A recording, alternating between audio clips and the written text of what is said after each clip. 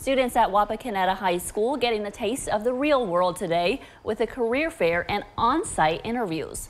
A total of 52 businesses presented with a variety of careers ranging from manufacturing, the medical field, and education, just to name a few.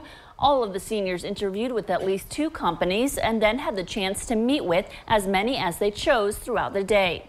This experience exposed those students to the vast variety of jobs available right here at home and provided the opportunity for businesses to recruit students for employment. We've really made a big push here within the last couple of years to, to help educate our students on career paths and trying to help them make the best choice possible for their future. It's our hope if, if a student is looking to go right into the workforce after, their, after they graduate that this may be an opportunity for them to jump right into a, a, a great job. I'm definitely looking forward to getting experience and learning how to interview well. And so far, I have met with people that actually work with my dad, so that's really cool. I think it is amazing that the school can put something on like this for us and that they care so much about us to give us this experience. Out of the 52 companies presenting, 45 of them were hiring immediately.